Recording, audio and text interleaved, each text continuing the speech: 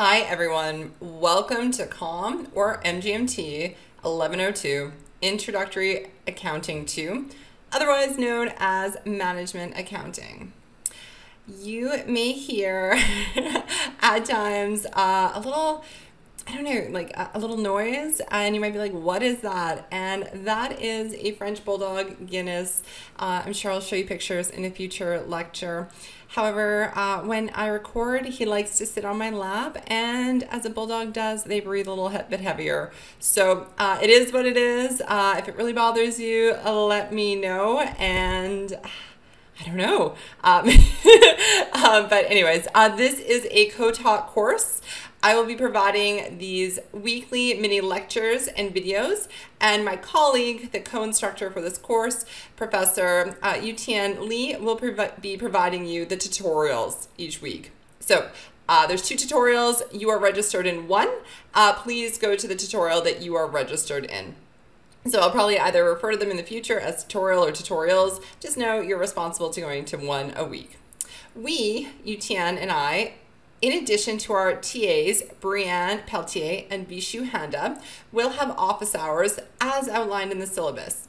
But before I get into the official course contact, uh, content, I'd like to briefly introduce myself. Click, click.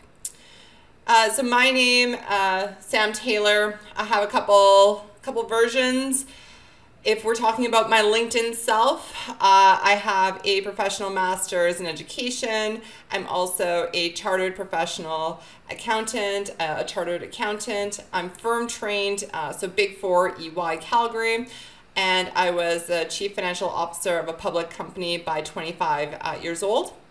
I then worked as a location independent consultant, so traveled around the world, helped out uh, clients in financial reporting and um, as well as education consulting. And then uh, that led me here to Dal in 2018. If you met me in a coffee shop, uh, you'd probably know that I like coffee. Uh, maybe you'd find out that I love my dogs. Uh, I have another one, uh, Bambi. She is a Chinese crested and she is a rescue. She is independent, more independent than the French bulldog, so she does not need to be on my lap and will not be breathing near the microphone. Uh, I prefer beaches to mountains, and a sense of humor can go a long way. Oh man, uh, like because life is life is ups and downs. Like sometimes in school, you know, you got a bad quiz, you got to step up and go write another one the next day. Uh, and having a sense of humor, trying to zoom out, have a big picture you know, stub your toe, you laugh. You know, see somebody else stub their toe, try not to laugh when they're watching. You know, anyways, uh, so sense of humor, definitely value that um, in other people, and um, try not to take myself too seriously. Although I will tell you, I take proffing very seriously. So. Um, this course is set up with your success in mind to make it manageable as well as um, fulfilling something that you can hopefully take now, see the value, as well as think back over the next four years, see the value, and hopefully, uh, as many of my past students have seen, when they reach out to me, you know, 5, 10, uh, 12 years later and say, hey, I remember that thing that you said. And I'm like, which one? And they tell me, and I'm like, oh, yeah, sort of. and, uh, you know, they end up seeing some value many years later, which is awesome. Uh, prof classroom version, I really like it when students have the right answer but I freaking love it when students have the wrong answer. So try me. Whatever version, you know, if you post a question to the discussion board and you attempt an answer like, oh, I see this, I'm struggling with this, I think it's like this because, great, you're probably on the right track. And if you're not, like you tried. I'll take whatever kernel of rightness you have, you know, maybe beef it up a little bit, uh, tweak it a little bit, but we'll go from there. Uh, if this was an in-person lecture, I, you know, would do the same thing. So lots of these things translate. It's just good to try because you're probably closer than, uh, than you would think. And really learning, like you're learning this material. If you master this material, you'd be teaching the material. You wouldn't need to learn it. So please come in, engage, get stuff wrong, learn, get stuff right, learn. Um, it's all good. Okay. So this is our textbook. You will either have the floppy version, so like the paperback version, or you will have the online only version. But as outlined in the syllabus, uh, you will have um, online Connect. So you definitely do need to have Connect. Hold on a second and I will pull up the syllabus.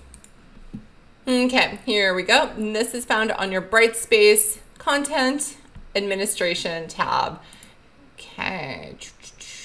So you will see office hours for uh, Prof. Yutian and myself, and you will um, see how to get a hold of us there. You will see how this course is graded and you will see our course textbook right here. So that is the 13th edition uh, Libby either online via Connect or hard copy, which is like the soft floppy copy uh, versus Connect. Either way, you must have Connect for the course. That is the online code. And the online copy is actually found through Connect. So that you will see uh, this book, um, 13th edition. Please post to the discussion board if you have any questions, but the library has several copies uh, available online uh, as well through our course. So if you go to Content Administration Connect, you will see some slides on how to get the book and how to link it to the course. So you go through our course on D2L for everything. Say you buy the textbook in um, the bookstore, then you go to our course and you click the connect through the instructions, content administration connect. And from there, you'll be able to hook up your online book to our Brightspace course. Okay, so um, these slides you will see are made from the base of the textbook slides. And the reason for this is as follows. Accounting is its own language. However, within um, the language of accounting, the language of business, there are many different terms, like sometimes three, four, five different terms for the same thing. And when you're a learner, um, and when you're new to learning something or even intermediate to learning something, uh, it's quite frustrating, I find, uh, when things have several different names and there's no consistency. It's almost like you feel like you need to learn five times as many things, but even worse than that, because then they're like interchanged. So, anyways, I want to use the same language that you will see in the textbook, that you will see for your online um, uh, assignments, that you will see on your tests, that you will see on your final exam, that you will see in your tutorial quizzes. So all of these things have been consistent. So that is why, as a base for these mini lecture videos, I will use the slides that were made by Ruth Ann. So thank you, Ruth Ann. However, um, Ruth Ann's great, but uh, we definitely have different teaching styles. So I take her slides as a base. I remove some stuff. Add some stuff so I don't change the way that the terminology is, but I'll do things like add in questions, um, add in my own commentary. I tend to make uh, the slide word, uh, the wording on the slide less uh, verbose so that you get to see the key terms. Uh, so much, um, much streamlined. That way you can watch the lecture videos hopefully just once, maybe twice, but then you have the slides to kind of like jog your memory and you can go back to the key points there. All right, this video is getting rather long. However, it's long for a typical video. However, it is relatively short for an intro video. And that's just because like we're introing things. There's a few things to go over before we actually get started in the course. So the last thing I'd probably want to mention eh, about the course is that you are being graded. You have 15% for the textbook readings and SmartBook pre-work. Now, this frame, this is how you're being graded. This is the underlying framework. This is the education research stuff. Basically, what this means is this course is based on evidence, uh, evidence-based teaching principles so that it's the most effective and efficient way for you to learn. And then mapped onto this is how you are evaluated. So there isn't a disconnect between what we're asking you to do and the most efficient and effective way for learning. So how this course is structured is uh, you are expected to read the textbook and complete the SmartBook pre-work prior to watching these mini lecture videos, ideally. You That is worth 15%. Uh, it's accessed via Connect for the SmartBook and they're due each week Monday with the exception of week one because we're here. We, we're not expecting you to somehow get in and, um, you know, do a bunch of work on the first day. However, that means that there will be two due next week. So please use your time this week uh, accordingly. So this is worth, you'll have 10 of these. The lowest two are dropped. You should be able to complete all of them. They're dropped if you are sick and miss one. They're dropped if you just don't want to do one, or I guess two. Uh, they're dropped if you have performance that's lower than the other ones. So they're dropped. There's no additional drops if you're sick or anything else. Like just everybody gets a freebie too. Uh, from there, you're expected to watch the mini lecture videos like these ones, then complete some practice problems, which are available via Brightspace content. Uh, each week, you're expected to go to your one scheduled tutorial, and there will be two quizzes held in your assigned tutorial. When you scroll down, you will see the schedule for your quizzes, your SmartBook, um, which chapters, and um, your tests. So speaking of tests, there are two quizzes um, held in tutorials as outlined in your syllabi. Then there are term tests. There's going to be three. The lowest one is dropped. Uh, these are virtual and done um, as outlined in your course outline. And then there's a final exam, um, which is going to be during the registrar's um, official period at the end of the term. So this is what you're graded on. This is why you're graded on it. And this is when those items should occur and what the uh, examinable content is. So all the information for you to meet your definition of success for this course is available in the syllabus as well as when you can meet with um, with myself or the other professor or our TAs. So our office hours are right at the beginning.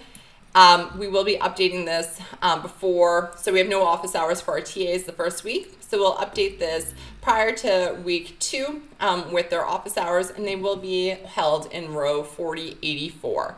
My office hours will be online via um, Calendly, so click here and you can see when that's available. And uh, Professor uh, Lee, her office hours will be Tuesday or Thursday, uh, 1 to 4 p.m., or by appointment via email if you have questions, uh, the fastest way is to go to office hours for myself, um, Professor Lee, or RTAs, Brianne and Vishu.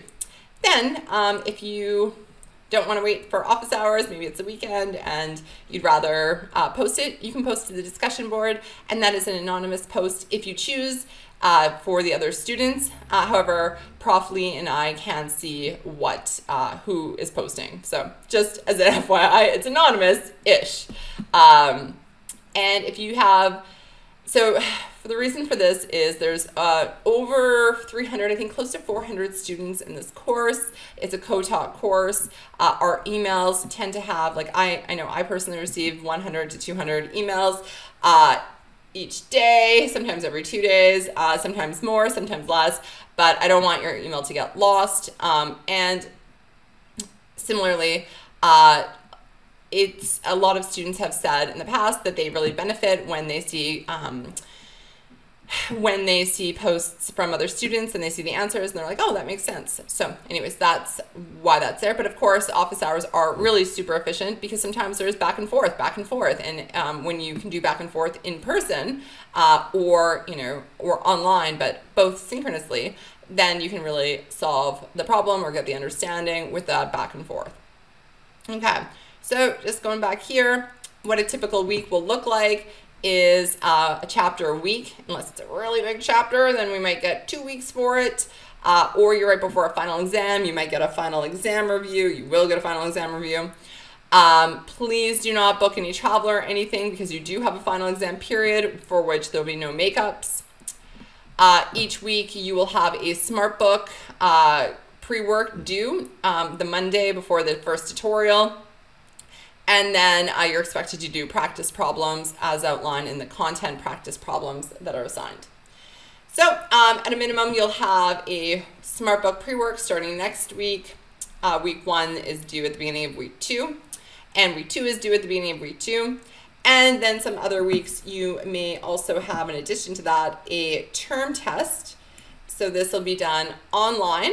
You'll have 60 minutes to complete it uh, anytime from 8 a.m. to 5.30 p.m. This will be virtual via Connect, and there'll be a sample term test available for you a week in advance. So chapters one, two, and three. Great. Um, then the following week, you will do, you will continue to do the same, have the SmartBook due each week.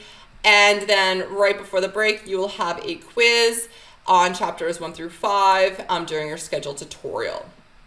Okay, during reading week, um, we take this fully off. We encourage rest and relaxation, uh, at least from this course. You'll have others, I'm sure, um, and you may or may not choose to use your reading week um, for reading. That is up to you, but we do not have any large tests or deliverables due until the week after, for which we will then be having an, your second term test from um, same thing, so 60 minutes on the Friday um, from 8 a.m. to 5.30 p.m.